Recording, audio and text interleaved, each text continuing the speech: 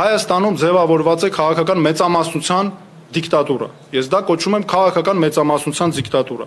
որովհետև նախ ամեն ինչ ձևավորված է, կենտրոնացած է մեկ կուսակցության ձեռքում։ Այդ կուսակցության շահերին է ծառայեցվում պետության բոլոր ռեսուրսները եւ հակառակը կուսակցությունը այդ պետական ապարատի ապարատի մեջ է անընդհատ ներթափանցում այդ կուսակցությունը։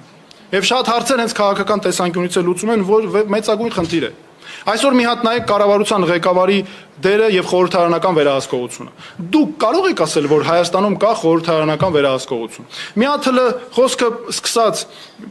բոլոր ես ուզում եմ խոսքս վերաբերում է ողջ parlamentin։ Դուք ընդհանրապես լսած կաք, որ օրինակ կառավարող խմբակցության որևէ падգամավոր քննադատի կառավարությանը կամ որևէ մեկը վերահսկողություն ինչ է նշանակում, այսինքն խնդիրներ վերհանել, բերել, լուծել եւ այլն։ Բայց չկա նման բան։ Կառավարության ղեկավարը падգամավորներին վերաբերում է որպես իր աշխատողների։ Падգամավորները ակնհայտ է, չէ՞ որ չունեն ինքնուրույնություն ընդհանրապես։ Սա ակնհայտ է։ Մյուս կողմից էլ ամբողջությամբ պարալիզացված է քաղաքական պարլամենտական պարլամենտարիզմը, որովհետև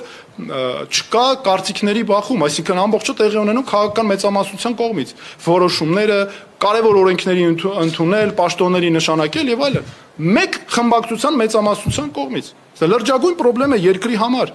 օրենքների հարց է առաջանում, թե ինչպես օրինակ կարևորագույն օրենքները ընդունեն, մեկ-երկու մեկ-երկու օրվա ընթացքում են ամենազգայուն, որ մարդկանց հանկարծ դժգոհությունը չկա։ Երկու-երեք օրվա ընթացքում արագ օրենքներ են ընդունվում, բայց սա ինչ կապ ունի իրավունքի գերակայության հետ։